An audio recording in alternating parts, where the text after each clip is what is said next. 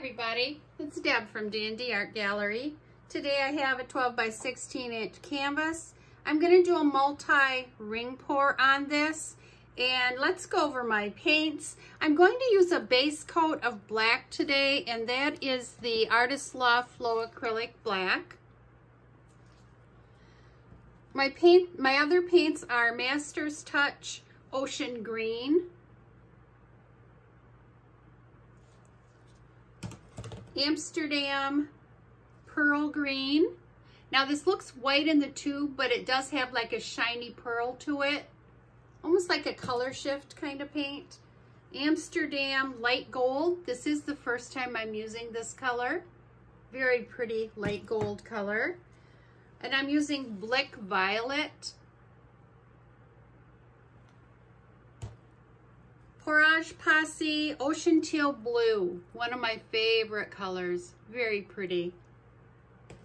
And my last paint is again Pourage Posse. This is a new paint I just got. It's called Moody Blue Shimmer. A very dark blue color.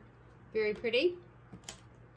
My pouring medium today is a little bit different. I'm using a combination of Floetrol, GAC 800, and Liquitex Gloss Medium in a 5 to 1 to 1 ratio. And I will have all this in the description. And then I used two parts of that pouring medium, one part paint. I did add a little bit of water. And let me show you the consistency here. Leaves a little bit of a trace and then disappears. So what I'm going to do is stop the camera. I'm going to put my base coat down and I'm going to fill two little cups here. Just layer two cups. I'll bring you back and we'll start painting. Okay, everybody, you can see that I have put down my base coat of the Artist Loft Flow Acrylic Black. And I've filled my two cups. And here I'm laying down my rings. And what I did is I used a half of a cup from each of the cups just to give it a little more interest. And now I'm just doing the tipping moving the paints around on the canvas. And I have sped up this part of the um, video for you. And I'm doing a voiceover. Still just spreading that paint out by tipping. Taking a look at it now. And here I've decided I'm going to fill another little cup up because on the upper left, as you can see, I'm adding that little cup there to add a little more color. I felt it was just a little bit too plain and also on the upper right. Giving it a quick torch.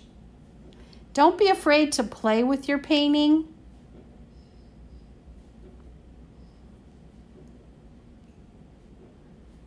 Just stretching out that paint. Taking a look at it. Now I'm taking the leftover of my base coat, that black, just adding some more interest by putting in some of the black lines there. And I am trying to follow the pattern of already existing lines. And here I'm also taking the gold, that soft gold, adding a little bit more color in there.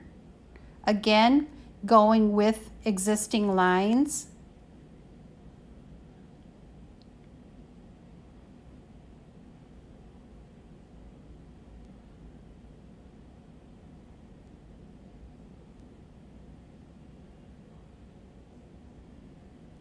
Again, giving it another torch. Now I'm just using my skewer, adding a little bit of lines here and there, doing a little more tipping. Cleaning off the bottom. Okay, everybody, here we are for our close-up, and I am showing you the whole painting here. I'm very happy with how this turned out. It was a multi-ring pour on a 12 by 16 inch canvas. This is the upper left-hand corner. Here is where I added some of the black and the gold lines in there, just to give the painting a little more interest. I got some cloudy effect some nice cells, Just very happy with the flow of this painting. And here is the lower left-hand corner. I will take you up the middle.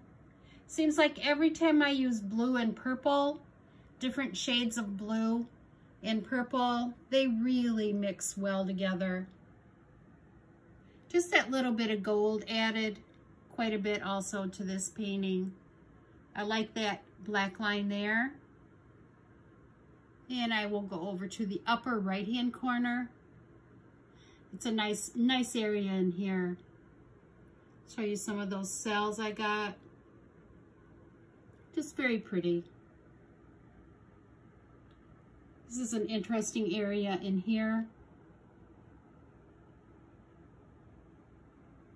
We'll see how that uh, Amsterdam uh, whitish paint dries, the whitish green